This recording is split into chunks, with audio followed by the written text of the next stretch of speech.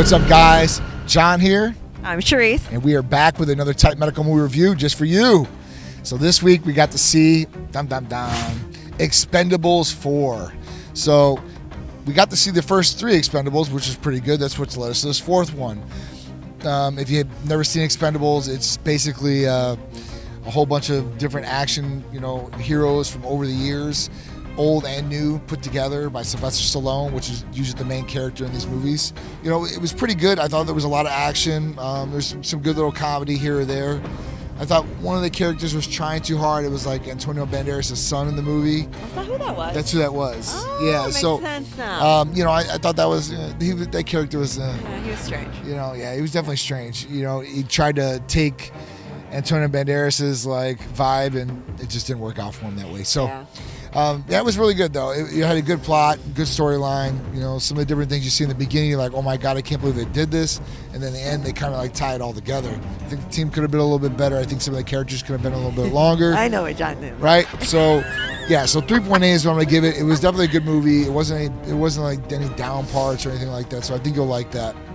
Okay. Um. Yeah. I like the movie because I like violence. So that always comes down to I love fast cars and I like violence. So anything that has either one of those, I do typically like it. Sylvester Stallone, I like him, and I also like Jason. Stratum.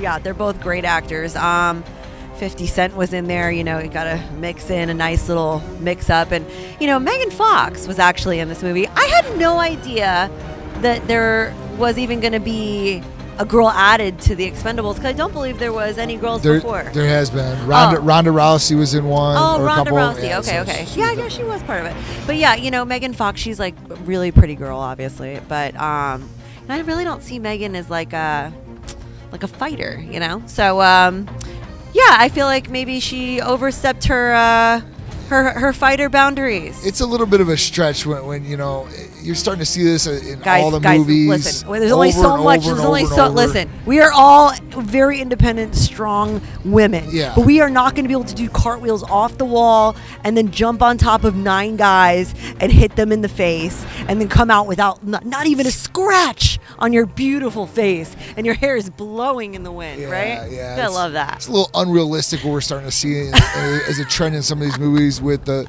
female heroine just being so superior that you know a, a blow of her breath and you're, you're you're falling over. So Well, we all know that Megan Fox took over the entire team because that, you know, Yeah. that's what that, what that's what happens. and now. you know what? You haven't seen Megan Fox in a lot of movies lately. Well, she right? was tr- she was shut down after Transformers, I believe, right? Yeah, you know Michael Bay said, and she was kind of done, and then she Yep. got with what's his name, the little tall blonde haired dude, try to go get some. yeah, so my rating is going to be roughly around a 2.9. Ooh, hmm Halfway there.